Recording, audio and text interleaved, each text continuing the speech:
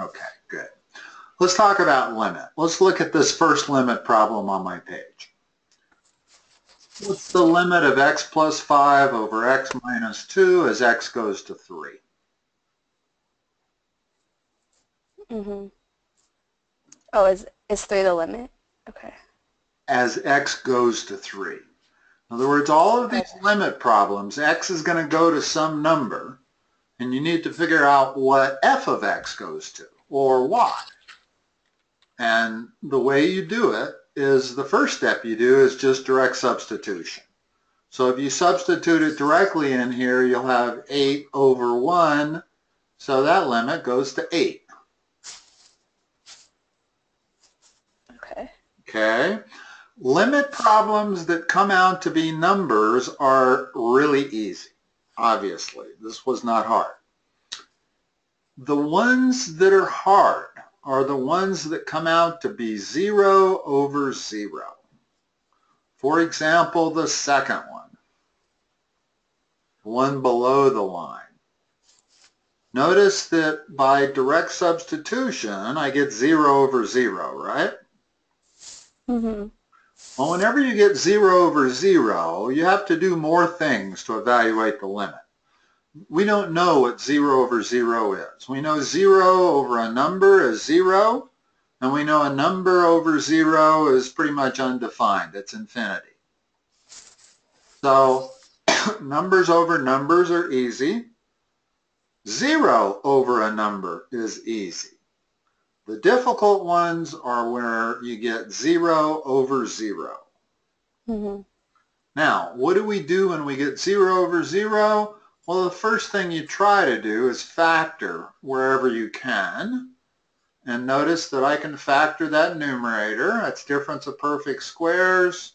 So I can factor it into x minus 1 over x plus 1. And then I'm going to divide that by x minus 1. Now notice I can cancel those x minus 1s, and now this limit actually goes to a number, goes to 2. And that is the answer. Oh, okay. Okay. And uh, I looked at two that you sent me before I accidentally deleted it. Let me pull them up here.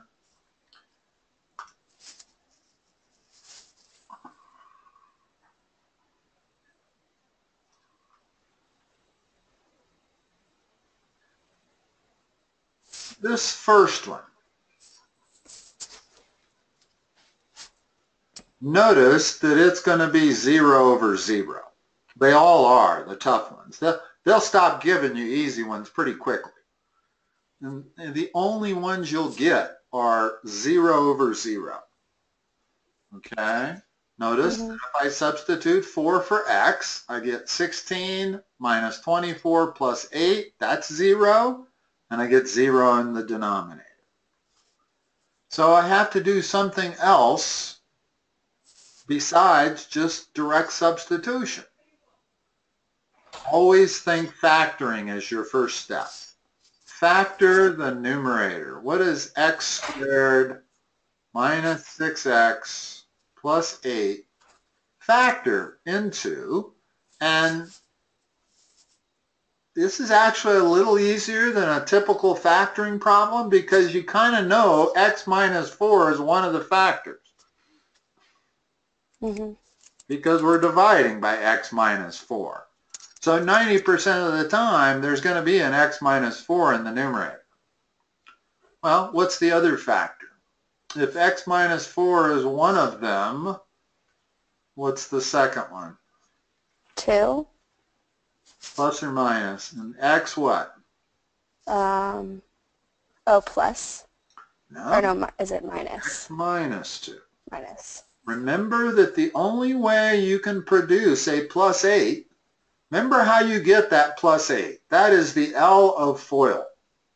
Right. You get it by multiplying minus 4 times minus 2. So when you're going the other direction, when you're factoring, you know that you got to have two signs that are the same. There's no way it could produce a plus 8 if these signs were opposite. Mm -hmm. And so they're either plus plus or minus minus Look to the middle term, which has a minus in it. That tells you they're minus minus. It's straightforward as that. Okay. And now I'm trying to take the limit of this thing as x goes to 4. Well, notice the very first thing that happens, I'm going to cancel that x minus 4 out with that x minus 4. And now what's the limit of x minus 2 as x goes to 4? Is it 2? Uh-huh. Okay. Limit problems are actually pretty easy once you get the hang of them. Right. It's been a while too since I've done that. Well, so. and factoring is not always, everybody generally has difficulty with factoring and that never goes away. Just because you go much time at all without factoring, you forget how to do it. Right. This one is as x goes to 6. Well, that makes the denominator 0. I can guarantee you without even doing the math that it makes the numerator 0 also. 36 minus 42 plus 10. It doesn't make the numerator 0. Wow, I'm wrong. So here, let's look at this. So I'm taking the limit of this thing as x goes to 6. Well, by direct substitution, what do you get? Um, so we get 36 minus 42, which is negative plus 6, 10. plus 10. You get plus 4. over 0. So it's just undefined. Yes. Okay. Anything divided by 0 is undefined. It's basically infinity, but they don't like using that word. And also there are some special things about limits. Have you had limits from the left and limits from the right yet? Um, yes. Okay.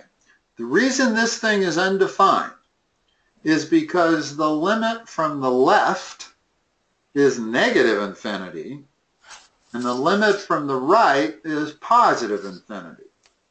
Since those two are not the same, it by definition does not exist. It's actually not undefined. That's probably not the correct word. It does not exist. For a limit to exist, has to be the same from the right-hand side as the left-hand side. That's Okay. the very first definition. Otherwise, if it's not the same, it does not exist. Okay? And notice that when I approach 6 from the left-hand side, the denominator is going to be negative. Whereas I approach it from the right-hand side, the denominator is going to be positive. So that's why they're not the same from the left and the right.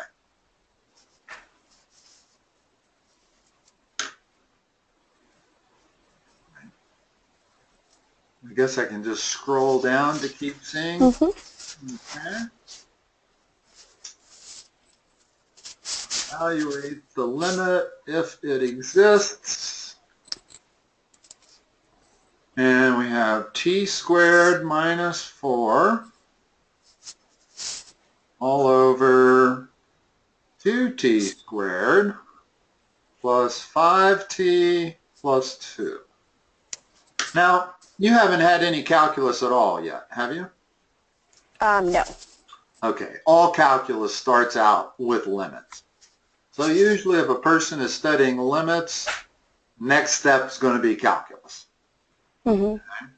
Now, if I'm taking, I could give you a really easy way to do these zero over zeros if you had any calculus, but since you don't, we'll do it the hard way. Okay, notice that as I plug in minus 2, numerator goes to 0, denominator goes to 0.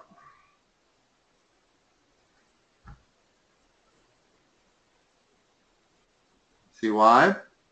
Mm-hmm. 8 minus 10 plus 2. So it's 0 over 0. Now, technically 0 over 0 is indeterminate. That's what it's called, always, indeterminate. Because it could be a bunch of stuff. It could be a zero, it could be infinity, it could be a number, it could be anything, anything from negative infinity to positive infinity. So the way we need to solve it, again, is by factor. We'll factor the top.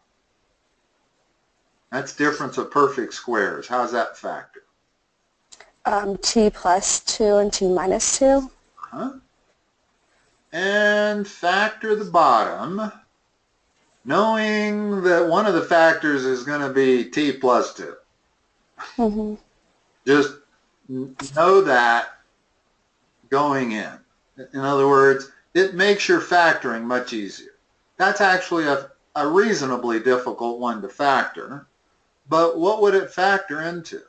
Especially if I know that t plus 2 has to be one of them. Well, what's the other one? This has got to be 2t. What's the rest of it got to be? Um, is it 2t plus 5 or 3? Always know that these last two numbers have to be factors of this constant. Oh, right. Okay. Yeah, I forgot. Oh, then it's, is it 2? Well, 2 times 2 would be 4. 4. Oh. Um, What times 2 is equal to 2? oh, 1. Yes, that's what it has to be. And then if you were to FOIL those two denominators together, you'd get what we started with. Right. But now notice what happens. The t plus 2's cancel, and now resubstitute the same exact number that you had before. And what do you get? Um, you get negative 4 on the top and then um, negative 3 on the bottom, so 4 thirds. Yeah, exactly.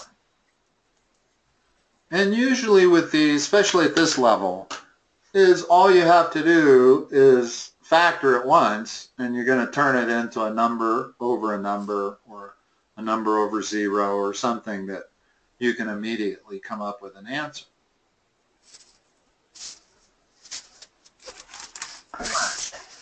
Now the number five.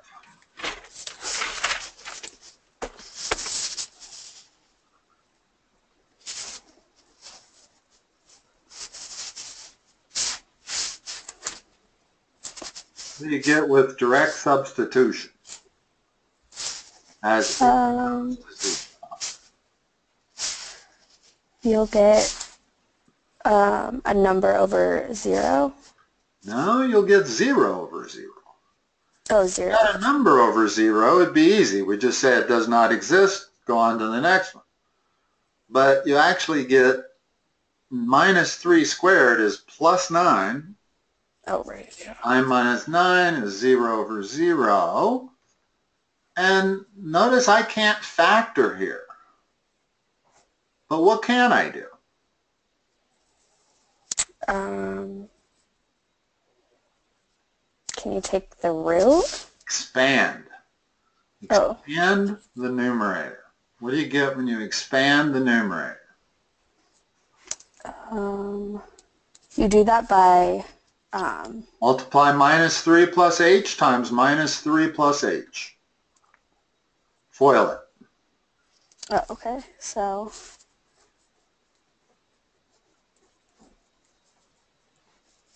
so you get 9 minus 3h minus 3h Which is minus 6h. minus 6 and then minus 9, right? So it's, Don't forget the plus h squared. oh, That's what I get when I expand that expression. And then I have minus 9. okay. Now all over h. Now condense that and factor, in other words, the 9's cancel, and you're left with everything having an h in it. So factor an h out of the top, what do you get? I factor a plus h out of the top. Get negative 6 plus h. Okay? Still have h in the bottom. Those h's Yes. now I can cancel. And now I got negative 6 plus h. What's that go to as h goes to 0? Um, just negative 6. That's the answer. Okay. Okay? So always think factoring, although there are harder ones where you can't factor, like this one. But there's still a way to do it.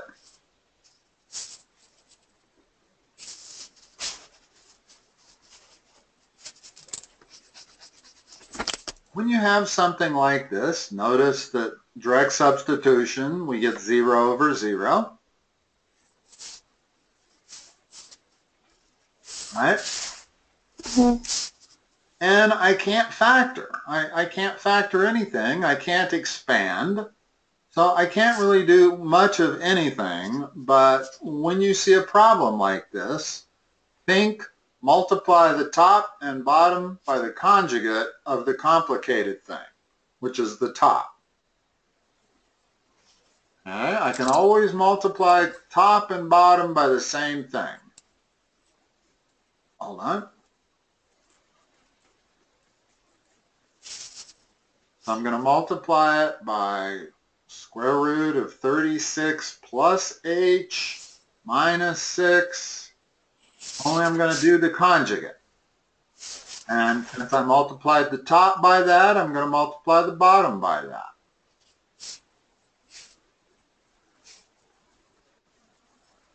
See what I did? Mhm. Okay. Now, turns out when I multiply those tops together, it's going to lose the radical sign. Here, let me blow it up a little bit so I got a little more room to write. When you multiply these two numerators, notice there will be no middle term. The middle terms are going to cancel. They always do when you multiply something by its conjugate. So this radical times that radical leaves you 36 plus h. Still got minus 6 times plus 6, which is minus 36. And now in the bottom, never multiply these two together. Just leave them like this.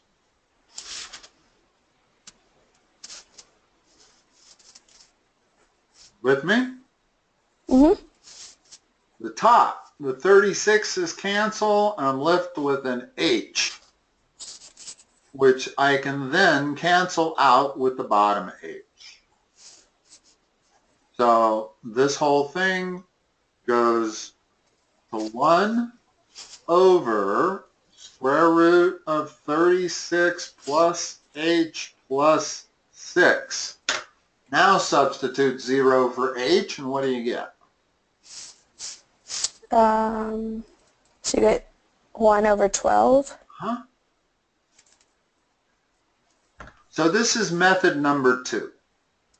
There, as long as there's no trig functions involved, usually there's only two methods you need to consider. One is factoring and the other is multiplying by the conjugate. Okay. Okay, you know what I mean by the conjugate. If I'm multiplying mm-hmm. by a plus b, then I'm multiplying by a minus b. Right. That's the conjugate. And notice that always turns out to be a squared minus b squared. That's difference of squares. So when you multiply by the conjugate, there is no middle term. It gets, a, there is, but it cancels itself. All right. Look at number seven. Again, whenever you see a radical sign in the top or the bottom, almost always you're going to need to, to factor. When you do direct substitution, what do you get? Um, you get, so 0 on the top. Then You don't really need a calculator to do that. You got 49 times 49 minus Uh-huh. 49 Oh, four 49. times 49. Okay. So you get zero on the top and the bottom. hmm And since I can't,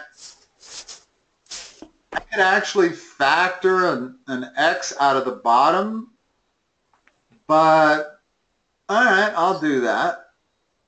Eh, no, I'm not. I'm going to leave it unfactored for the moment. Just because if I were to factor out an x from the bottom, it wouldn't immediately help me. I'm still going to get 0 over 0. And I, I haven't made any progress on getting this thing down to a number where it's not 0 over 0. But I'm seeing a radical sign. I'm seeing difference here. That means I'm going to multiply top and bottom by the conjugate. Okay. There's the conjugate of the top. I have to multiply the bottom by the same thing. So I'm multiplying that fraction by that. And I'm going to write it down here. What's the top give me? Um, let's see, you get 49 plus 7 root x Keep going. um, minus 7 root x. Remember those two terms are always going to cancel. You don't even Cancel need to do that. Oh, right, right. Okay. So just do the And last, then just do the last part. um, What's root x times root x? is it just x or Yep. it's just x? Okay. just like that. Now, I think I will take an x out of the bottom Okay. because what's left is 49 minus x. Beautiful. And I still have this over here that I have to multiply everything by. In other words, you can't forget to multiply the bottom by the same thing you multiplied the top by. Right. And do not worry about multiplying these together. In fact, it's something you should never do. Okay. Okay. Notice, cancel, cancel. Now I've got 1 over x times 7 plus square root of x. What's that go to as x goes to 49? Um, We know it's not going to be 0 over 0 because we got a 1 in the numerator. So we're done as soon as you come up with what that is.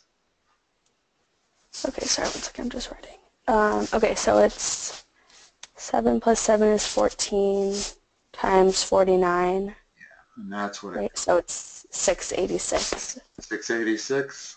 hmm Okay. And that really, if without trig functions, I don't think there is a third method. You're always going to either be factoring or multiplying by the conjugate. Well, number 8 looks kind of interesting. Number 8.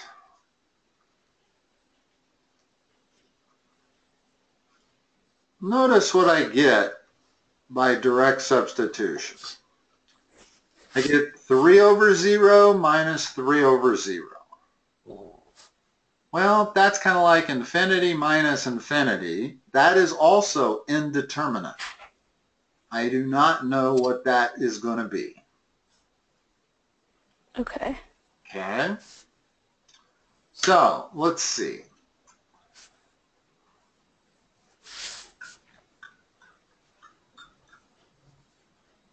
I think if I merely add or subtract these two fractions by finding a common denominator, that's the third method. I forgot about it. So that's the third method. So my common denominator is t squared plus t, which means I got to multiply this term on the left by 3 uh, t plus 1 over t times t plus 1.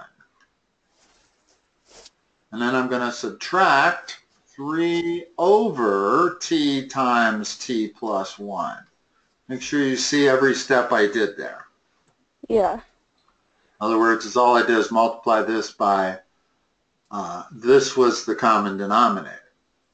Okay, well, now I end up with 3t plus 3 minus 3, so just 3t in the numerator, and the denominator ends up with that.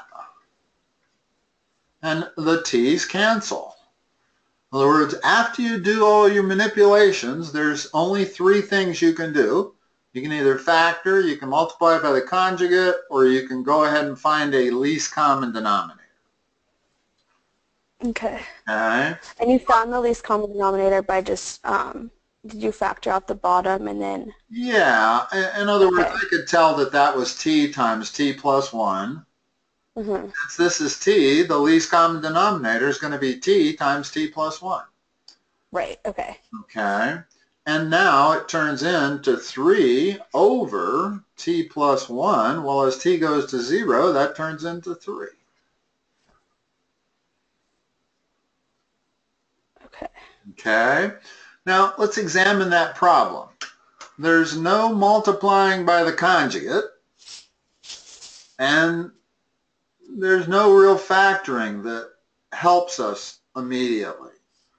At some point, we had to factor the t out of the numerator and the denominator, but we didn't do it immediately.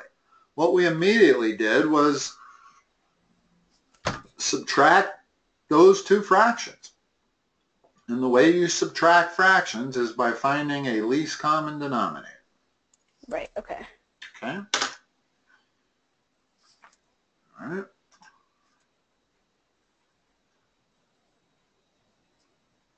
Okay. They're getting harder. Well, let's see. We have the following. Let me write it just so I can. That's less than or equal to f of x, which is less than or equal to x squared minus 3x plus 2. Well, we know we got to factor that. Almost always, whenever you see something that you can factor, you should always factor it, especially if it's a quadratic. Okay? That factors into x minus 2 times x minus 1.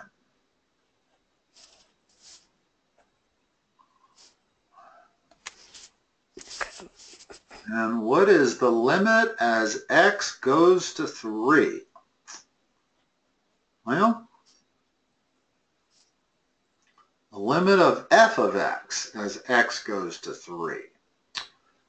Uh, let's see.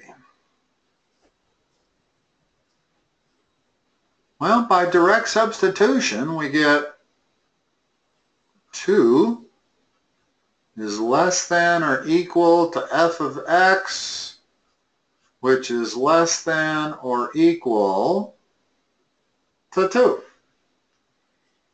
So what does f of x go to as x goes to 3? Um, If two? Yeah, if f of x is greater than or equal to 2 and less than or equal to 2, then it can, it's got to be 2. There's only one answer that it can be. Okay. Okay? This one's a little bit of a strange one. I don't get too many limit problems like that, but it looks like we're going to get another one here. So, I got 10x is less than or equal to g of x, which is less than or equal 5x to the fourth minus 5x squared plus 10.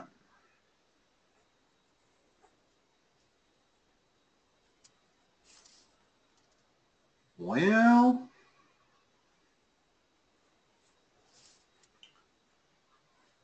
let's factor out a 5. I can actually do a lot more factoring, but I'm going to see if this doesn't take care of the problem immediately.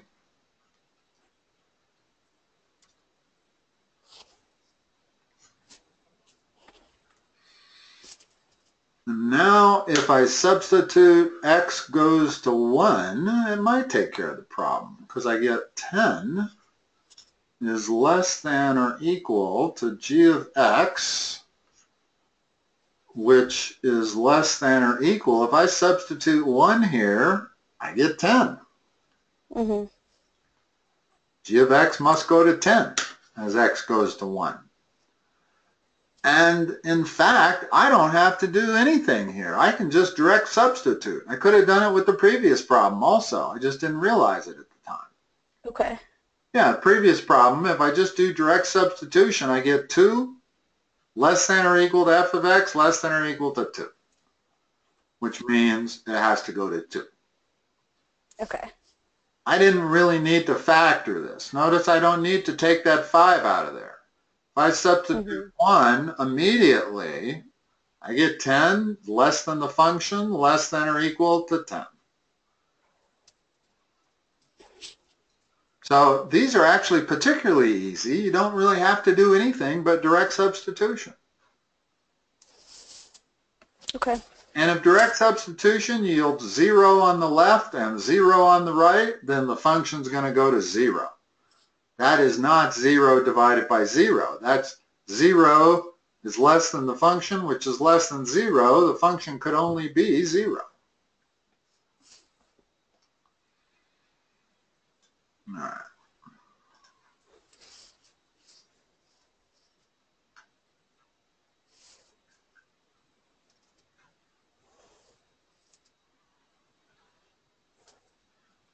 All right giving you some different looking ones.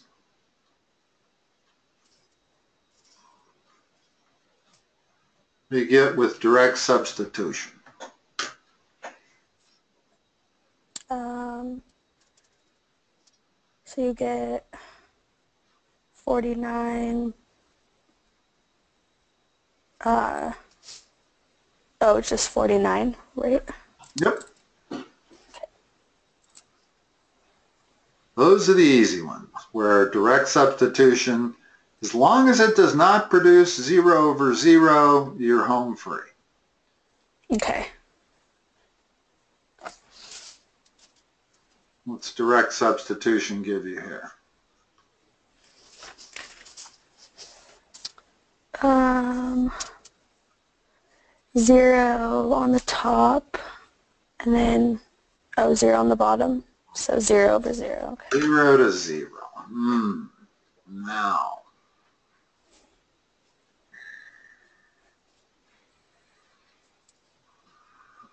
I'm thinking. What can we do? Let me think for a second. Could try multiplying by the conjugate absolute values are a little tricky. Let's see what happens if we multiply this thing by the conjugate. What do I have to multiply the top by? Um, 9 plus the absolute value of x. Yep. And the bottom, same thing. And at this point, you need to add parentheses to the bottom. Otherwise, it won't actually be this if I didn't add those parentheses. Now, now, still, ah, I don't get 0 over 0. What do I get? Mm, you get 81. Um, Hold on. What? Oh. Yeah, in the top you get what? 81, and then is it the absolute value of x, or, uh, yeah, the absolute value of x squared? Yeah. Okay. That's still 0. And the bottom is still 0. So at first glance, that didn't appear to do anything. But it actually does. If I look at the top, 81 minus the absolute value of x squared is the same as 81 minus that. Right. In other words, I can remove that absolute value sign. However, I still get zero in the top, and I still get zero in the bottom.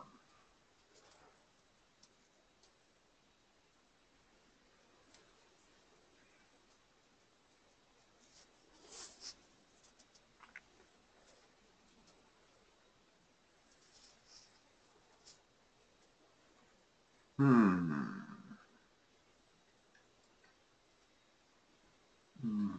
I'm thinking, hold on. This is a limit problem that I'm not sure I've come across before where they throw in absolute values. Um,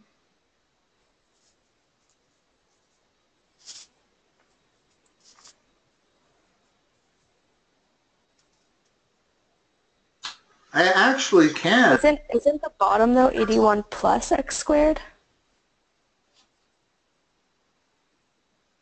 Well, mm, not yet. It's not. Um, uh, hold on. Yeah. Um,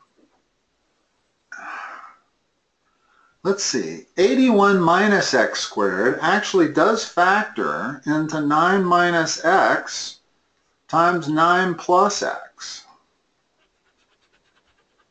And that is going to give us a solution, I believe. Because in the bottom, we have 9 plus x times 9 plus absolute value of x. And I can cancel the 9 plus x's, and now I got 9 minus x over 9 plus absolute value of x. What happens as x goes to minus 9? Um, going to be 0 over, or is it just 0? 18 in the top and 18 Oh, sorry, yeah, it's negative 9. Okay. and 18 in the Oh, bottom. 1. So that thing goes to 1. Yeah. Interesting. So, moral of this particular story, this was pretty complicated. We first of all had to multiply by the conjugate, top mm-hmm. and bottom. Then, after we got this, we need to realize that the absolute value of x quantity squared is the same as x squared. Notice that no matter whether x is positive or negative, when I square it, it's going to become positive. So what I Mhm. have circled there definitely goes to that. Okay. And I still get 0 over 0 until I factor it again. So this particular problem required not only to multiply by the conjugate, but then also to factor your answer. And once I factored the answer, always cancel out whatever looks exactly the same and deal with what's left. And it turns out that what is left is 18 over 18. Okay. Okay? So that's probably going to be the secret on all problems that have absolute value in them, is um, first of all multiplying by the conjugate, and then second, figuring out what absolute value of x squared is. It allows you to remove the absolute value sign.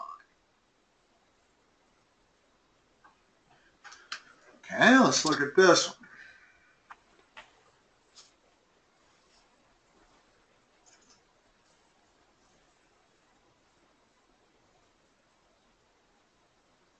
And this time we're going to zero from the left side only.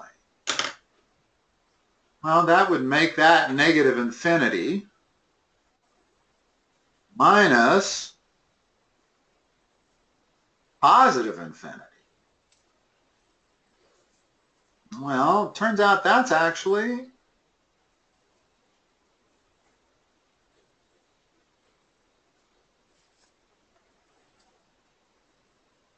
that's negative infinity. That's not indeterminate. So that's the answer, just negative infinity. Well, here's the thing with indeterminates. Here's some indeterminates. Let me give you a bunch of them. 0 over 0 is indeterminate. Infinity over infinity is indeterminate. Infinity minus infinity is indeterminate. It's not 0. Bottom. And this one on the upper right is not 1. Any more than 0 divided by 0 is not always 1. Okay? So Mm-hmm. when you have answers like this, they're indeterminate and you have to do more work. But notice that if I have uh, infinity plus infinity, that's not indeterminate. That's two infinities. That's infinity. Well, in our previous problem, we ended up with negative infinity minus an infinity. That's the same as negative infinity plus a negative infinity. And two negative infinities become minus two infinity. So that's minus infinity.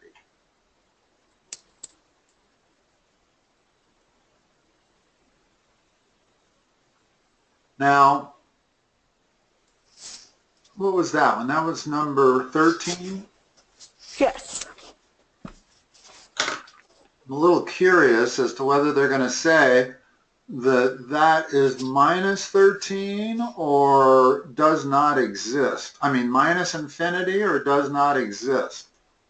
Uh, is there any way that we can, uh, Yeah, I can check right now. I have my. okay, let's see what they say for number 14. Hold on. Much better off when I was reading it. Uh, in fact, not 14, 13. 13. Okay.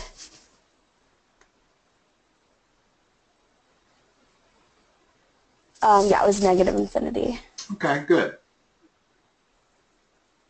Sometimes I think math teachers tend to use the word infinity and undefined interchangeably. They're not. Really, they're not interchangeably. Sometimes you take a limit and it really is infinity. hmm Um, if I said x squared over 2, no, if I said 1 over x squared, as x goes to 0, that's 0. hmm Excuse me. That's positive infinity. Let's examine that just for a minute, just I think I can make it a little more understandable.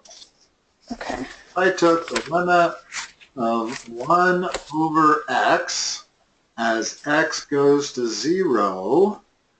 That does not exist because if I go from to 0 from the left, I get negative infinity. I go to 0 from the right, I get positive infinity. They're not the same, so the limit does not exist. However, if I take the limit of 1 over x squared, as x goes to 0, that does exist. From the left goes to positive infinity, from the right goes to positive infinity because they're the same. The limit exists and it is positive infinity. Okay. And notice what the graphs look like. The graph of this one looks like this. You can clearly see that as we approach zero from the right, we're going to positive infinity. As we approach it from the left, we're going to negative infinity. But the second function looks like this. As I approach zero from the left and the right, or the right, I'm going to positive infinity. It's the same thing, so the limit does exist. hmm You'll actually find some math teachers that'll want to say this does not exist, but it actually does. The bottom one.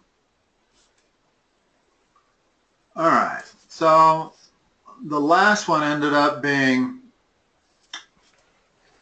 negative infinity, right? Yes.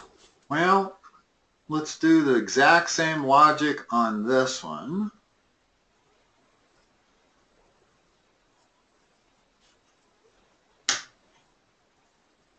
As we approach x from the right only, what's 7 over x go to? Um, zero.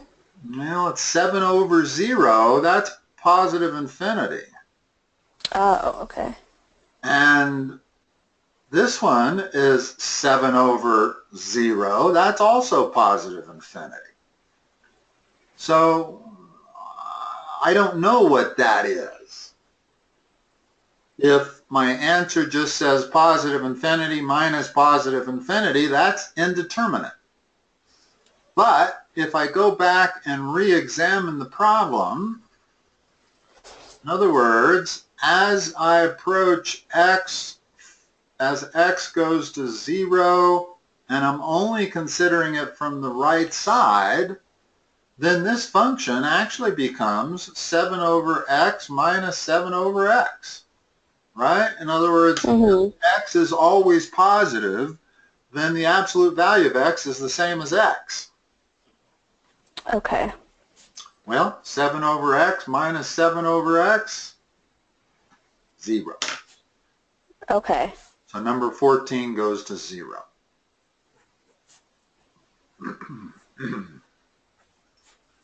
Okay, that makes sense. One more?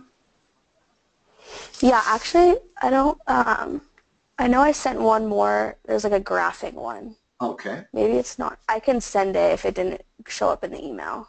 Okay. It doesn't look like it showed up, but let's do this one first because this is a little Okay. different. This has a trig function in it.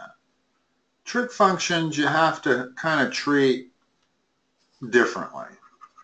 In other words, the three techniques we used aren't going to do us much good on this. First of all, they give you one to memorize, and it's this one right here.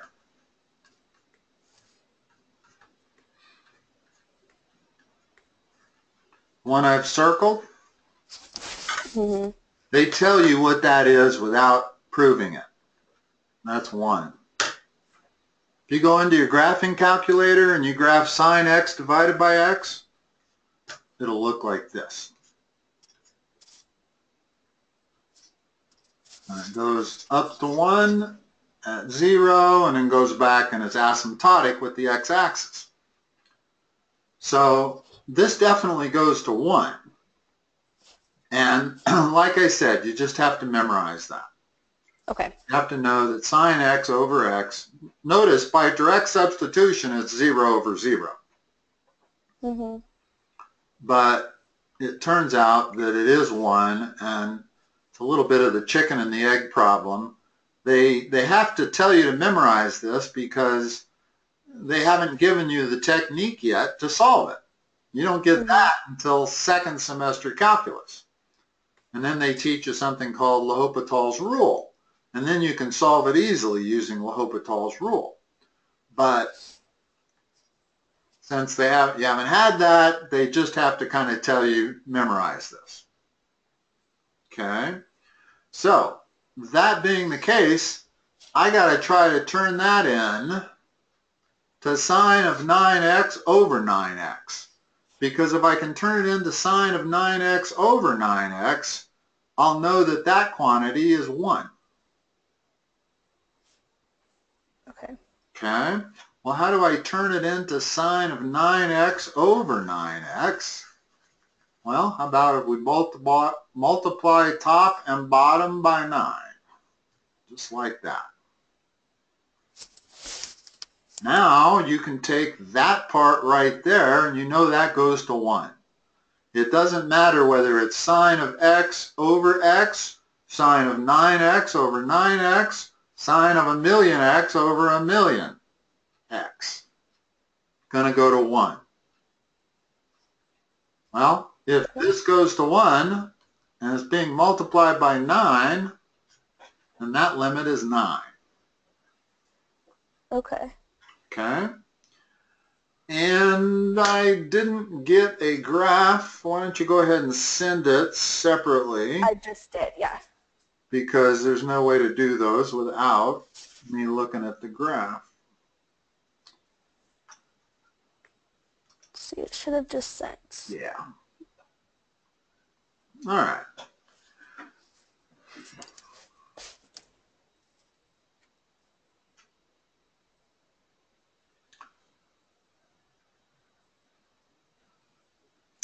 So do these individually. First of all, what is the limit of f of x as x goes to 2? Um, is it 1? Actually, it's not. It's this point right there. Oh, so it's 2? Well, notice why.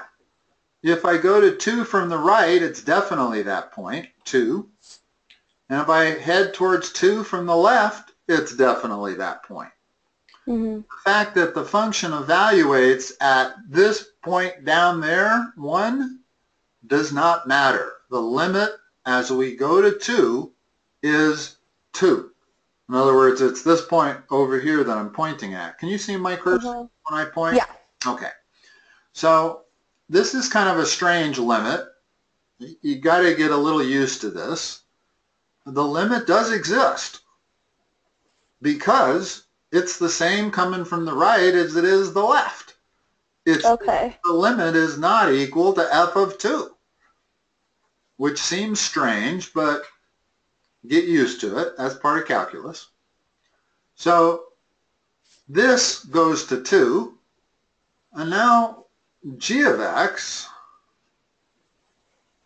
as we go x equals 2, what does it go to?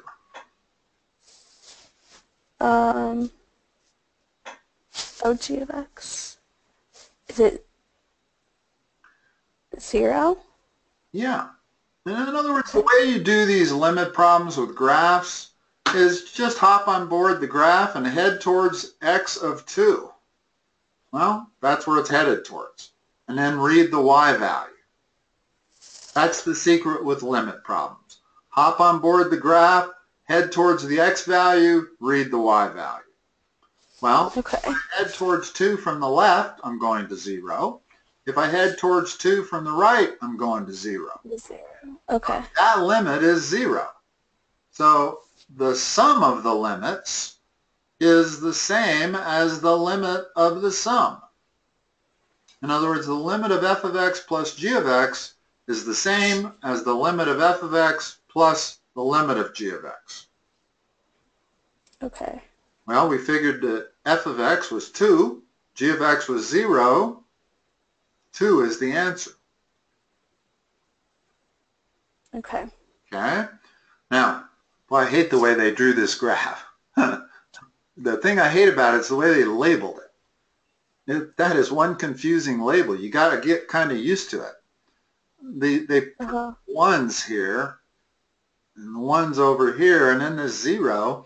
It's hard to figure out where, where the x-axis and the y-axis is. I, I guess you look at x and y, not so hard, but all right, let's do B. What's the limit of f of x as x goes to 1? 1. And let's do this one, g of x. What's the limit as x goes to 1 from the right? 1. What's the limit as x goes to 1 from the left? Um, 2. Therefore, the limit does not exist. Okay, because it's not the same. Right. And this one, it's clear why the limit doesn't exist. There's a big jump discontinuity there. Well, there is with this mm-hmm. one over here also, but that part actually goes to the same number. So this limit exists, this one does not. And if you take a limit that exists and add it to a limit that does not exist, then the answer is does not exist. Okay. So f of x does exist. But you can't add a number to a does not exist. Okay. Yes, that makes sense. Number C. What's f of x go to as x goes to 0? Zero. What's g of x go to as x goes to 0? Um, zero. Now, hop on board the function Oh, it's right here. Oh, like, and head towards 0, which is that point there. So okay. my function looks like it's headed to about one and a half. I don't care what the decimal is because I'm multiplying it by zero. In other words, f of x went to zero, so regardless of what g of x went to, zero times any number is zero. Right, okay. Okay? Now, uh, what's f of x go to as x goes to minus one? Um, ni- minus one. Uh-huh. That Or like a little bit. Okay. Right, that point right there, which is minus 1, okay? And then as g of x goes to minus 1, what does f of x go to? Um, zero. Okay? So what would- did f of x go to? Went minus, minus 1, Uh-huh. and g of x clearly goes to 0 as x goes to minus 1. And it goes to 0 whether I'm going to the left or to the right. Mm-hmm. So that limit is definitely 0. So my problem becomes what is, in other words, the limit of f of x divided by g of x is the limit of f of x divided by the limit of g of x. Well, that's minus 1 divided by 0. What does that go to? Zero. No. Oh, Negative infinity. just negative. Oh, is it infinity? Negative infinity. Negative infinity. Let's talk about this. This is something that an awful lot of students have trouble with. They want to make this thing go to 0, which it does. But then they want to make any number divided by 0 go to 0. And it. Okay.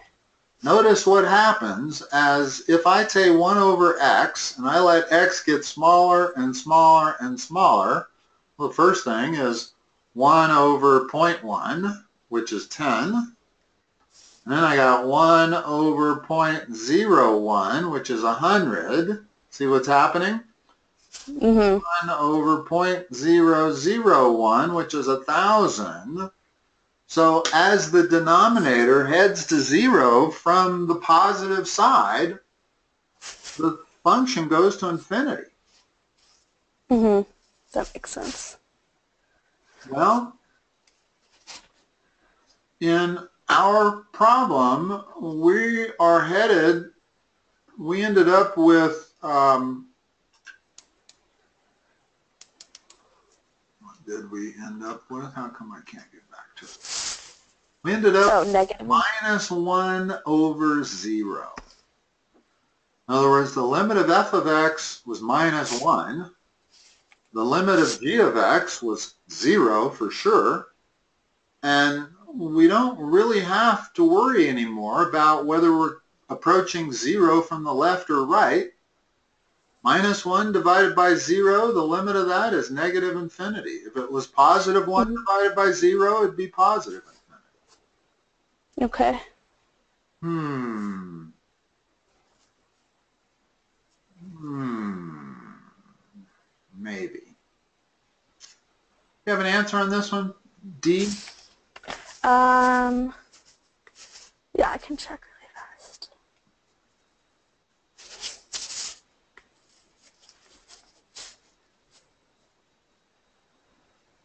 Hmm, It says enter a number when I type it in. When you type negative infinity in? Yeah. And it says, It like doesn't it doesn't give me the option to um, select like an infinity. All right, well, I think the answer is negative infinity, but not positive. It, it might be does not exist.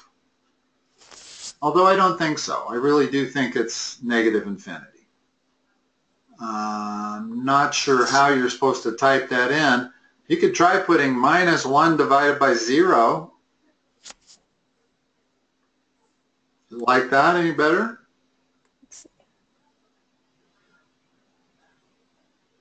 Um, no, it didn't. Okay. I'm not sure what it's looking for there. Okay, yeah, I can figure that out. Um, are E and F all that we have left here? Yes. All right. Shall we do them? Mm hmm I mean, it's 8 o'clock, but I'm willing. It won't take Okay. to do these. Yeah, thank you.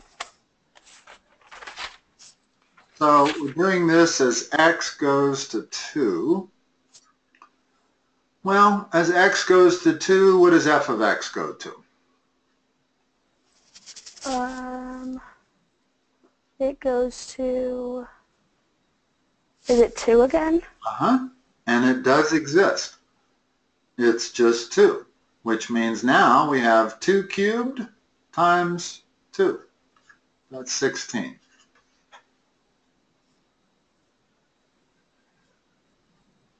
Okay. And finally, the last one, we got the square root of 3 plus f of x. As x goes to 1, what's f of x go to as x goes to 1? One. So now we got square root of 4. So two.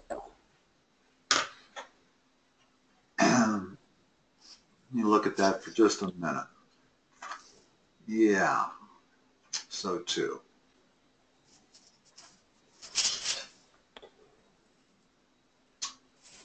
Okay. All right. Morgan, I hope I've cleared things up a little bit. Uh, yes, definitely. Limits can be a little intimidating, but just always remember when you're reading a graph and trying to figure out the limit, just put your cursor on the function and head towards the x value that it's pointing you to, Uh huh. and then read the y value. Okay. Okay? And this one here is a great example where they're not the same. You know, that Uh huh. points to 2, this one points to 1. If they're not the same number, then that limit does not exist at x equal 1. Okay. All right. Sounds good. And you can just can you still just send an invoice to my mom? Definitely. I can send you your email again if you would like. I, I'm sure I have it. Yeah. Okay. Patty, she hadn't changed it, has she, in two or three years? No, it should. Yeah, m2p at msn.com. Okay. I'll, Okay, sounds good. I'll probably ta- be talking to you again soon. okay, Morgan. Happy to help. okay, bye-bye. Bye.